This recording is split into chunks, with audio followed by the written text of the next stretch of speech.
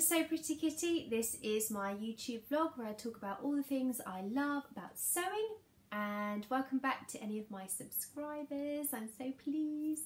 And hello to anyone that's new watching today. Please click the subscribe button and give me a thumbs up if you like my video.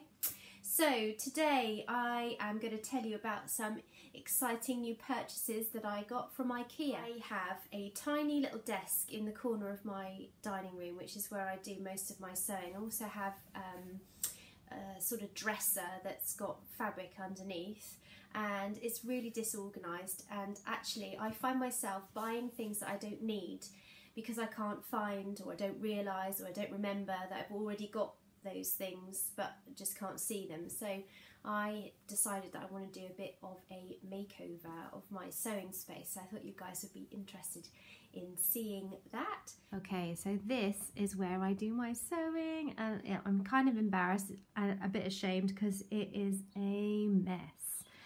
So you can see I've got some bunting up there, which I made when one of my kids was small. It was originally in their bedroom.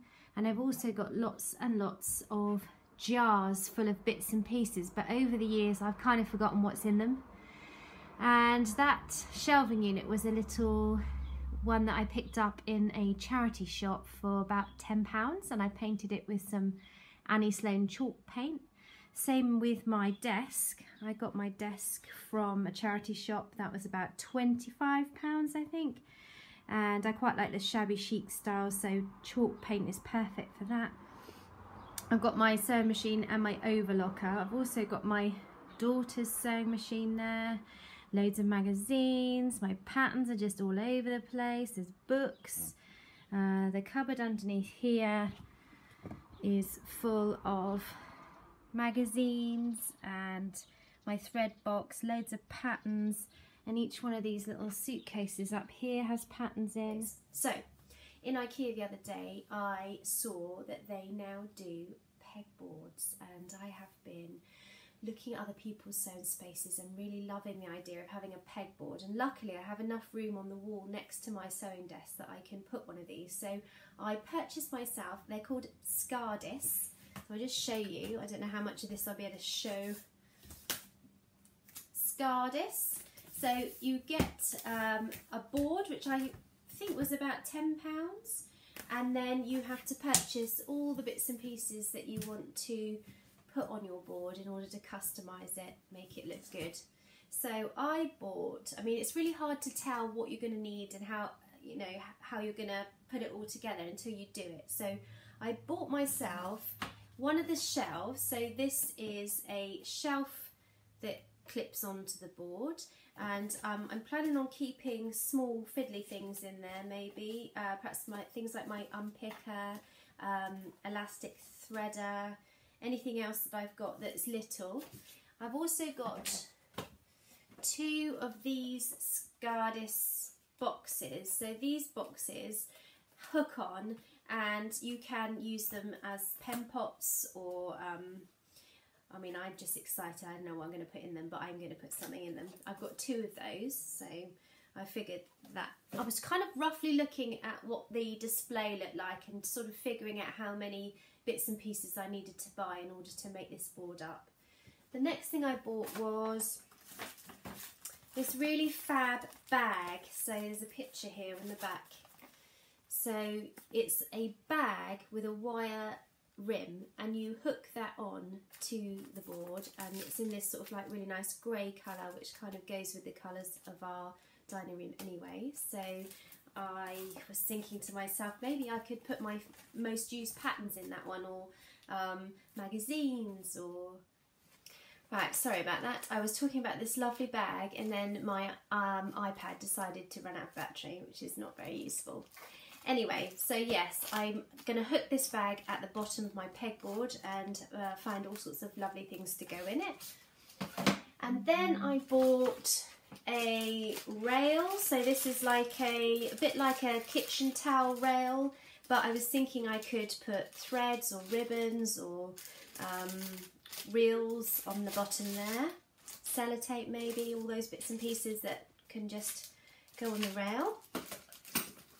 And then I also bought some hooks. So these you can hang scissors from and rotary cutters and things. And underneath the pegboard itself, I'm going to pop this, um, what do you call it? Underneath the pegboard itself, I'm going to pop this and then I'm going to hang these lovely crocheted bags. So there's two of these in a pack. These were really reasonable. I think they were about £6 for two. And I um, have just started crocheting, but I'm not very good, and it would take me an awful lot longer to make one of these than just pick one up in IKEA. So yeah, I was thinking that that would be good for popping things in just underneath the pegboard. And then lastly, two more things. I bought some of these Ziploc bags, which they sell in IKEA, because I was thinking actually they're really handy storage for patterns um, when I've traced out patterns, I often put them in Ziploc bags. So um, I don't think these actually have a zip on the top. I think they're the ones that you just sort of squeeze to close. But um, I picked up some of those in the six litre size, so that's the biggest ones they do. And then finally, I couldn't, I mean, I certainly do not need any more fabric, you know, like all of those lovely people out there. I'm sure you have more fabric than you need, but I've spoken about using IKEA blankets to make clothes before and at the moment they've got this great teal green colour mm -hmm. and they're like 450 or something so I walked past it three times and thought mm, I don't need that I don't need that and then somehow it came home so I will probably I was thinking whether or not can I make a Stella hoodie out of this? I mean it's not very stretchy that's the only trouble. It's stretchy in one direction and not the other because it's fleece but it might be a bit hot for this summer but yeah I couldn't resist the colour. And the amount of fabric you get on one of these blankets you know it, it's actually really they're 130 by 170 centimeters so you actually get a decent amount of fleece fabric for £4.50 and I'm having used them before I know that they are they wash really well and um, make up into garments really nicely. So bought that. So yeah, that is my haul from Ikea. So here we are, as if by magic, my new and improved sewing space and I couldn't be more pleased with it. I am just absolutely dying to do some sewing now because everything is organised and where it needs to be. So I am so happy. This IKEA pegboard looks amazing. Um, it's really useful, uh, probably my most favourite purchase for ages actually. And on the top I put the shelf. So up here we've got a mason jar which I've turned into a pin cushion and inside I've got all my Pretty Kitty um, clothing labels and unpickers and pins and little clips for use in, instead of pins when I'm using certain fabrics. So that shelf is super handy. And then just below that I've got my bag which I decided to put all my rulers and set squares and uh, my cutter for um, paper cutting PDF patterns and some spare scissors in there. So there's a quilting ruler in there as well. So that's super useful because they were all in my drawer originally. Down at the bottom, I decided against the peg rail and just used two of the hooks to hang these two crochet bags up. And I love the way they look hanging on the bottom. On the right hand side, I've got patterns that I'm going to be working on shortly, so I don't have to keep hunting for them. And my little notebook, which I put the kids' measurements and ideas in. And then on the left hand side, I've got all my spare overlocker cones another notepad, another pattern that I'm hoping to get done this summer. Um, so that's really useful. The only thing I wasn't really sure about what to do with was the rail because actually it turned out I didn't have that many reels of things so I've put both of my um, tape measures on there and I discovered this wrist pin cushion whilst I was tidying out. I had no idea I had that so that was quite a useful find and then I just popped some sellotape on there for when I'm making PDF patterns up. And then above that, I've got two of these lovely pots, although I think what I might do is move them along one and see if I can squeeze another pot on because these are super useful. I've got all pens, pencils, uh, my rotary cutter, which unfortunately wouldn't hang like the scissors because the hooks aren't quite sort of deep enough to hang them. And then in this side, I've got snips and sewing machine needles and yeah, another pot would be useful, I think. So I think I've got room for another on there. And then hanging above, I've got a USB key, which I put my PDF patterns onto and my pinking shears and scissors and yeah so that is probably my most favourite part of the whole thing second only by this wonderful thread uh, pegboard which my mum bought me for my birthday so I had no idea I had that many threads until I started organising them all and there's 120 pegs on that pegboard and I filled them all up and had a few left over. But it's really lovely to see them all up there and it's kind of bright and colourful.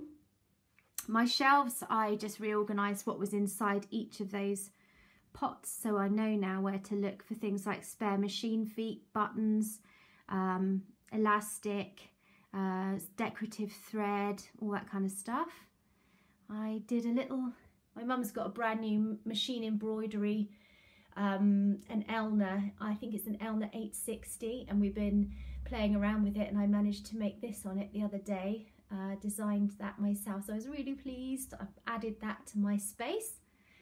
I've still got the bunting up as you can see and all the bits and pieces that were there hanging before and then in the window I've got all my sewing books and my boxes here which have patterns in the bottom too and um, bits and pieces in this one really and elastics and all that kind of stuff. My magnetic pin cushion which is fabulous. I can highly recommend one of those because you just have to hover it over the table and it picks everything up. And now I can happily sit at my sewing machine without having like tons of stuff in the way and having to move it. So I normally move the overlocker onto the dining room table anyway to give me some more space. This little bag here was made for me by a dear friend and it's a thread catcher, that's what I use it for. So when I'm sewing I just chuck all my thread in there. And then in my drawers, here's one of the Ziploc bags I talked about, the Ikea ones. In there is a summer hat for my daughter which is all cut out and ready to sew up so it's nice to keep all the pieces in one place. And then I've got uh, giant knitting needles and my bobbins and paper cutting scissors and bits and pieces and my machine, um, uh, my machine manuals. That's the word I'm looking for. So I wanted to talk to you about this chair because it was a gift to me from my husband about two years ago for my birthday and it was a brilliant surprise. So I was needing a chair for my desk and he sourced this via eBay. It was a second-hand 1950s or 60s uh, sewing chair that he found on eBay and had shipped from the US. And when it arrived, apparently, it was uh, really grubby and had a sort of plasticky UPVC kind of cover all over it, really old-fashioned. And between him and my mum, they uh, redecorated it and reupholstered it and turned it into the most fantastic chair. I love this chair. And the reason I love it so much is because it's a sewing chair. It has a secret compartment where I can keep all my pattern weights and lots of my patterns. So it's really comfortable, this chair. So I can, if you want to do a bit of upcycling, um, I'm led to believe there's quite a few of these sorts of pieces of furniture around for sewing, so it's prime for a bit of upcycling. And yeah, it's nice to know I've got something old and um, use, still useful at my desk. So yeah. I have to admit my actual fabric stash is still in the same state that it was before I started all of this because I physically don't have enough room I'll show you in this cupboard under here, so I don't think I got that far. So this cupboard under here has lots and lots of patterns. It also has folders where I keep traced out patterns.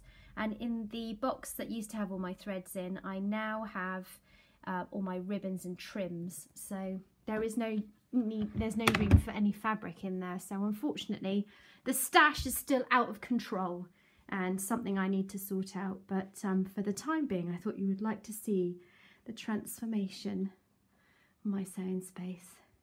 And maybe it'll inspire you to sort your sewing space out too much for watching today. Uh, if you like my videos, please press the subscribe button. You can also press the little bell if you would like a reminder when the next video comes out.